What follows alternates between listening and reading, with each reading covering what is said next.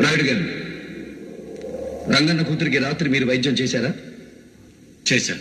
వైద్యం చేస్తున్నప్పుడు మీరు తాగున్నారా? ఉన్నాను. తాగిన మైకంలో గతంలో మీరు ఎవరికైనా మందిచ్చారా లేదు.